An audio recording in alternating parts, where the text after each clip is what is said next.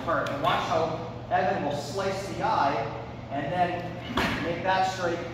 There's the straight check. Yeah, you go a little faster now? So all he's doing is elongating his arm to cause an injury. I don't know about you, but when I get hit in the eye, my hands go right up. Okay, here we go.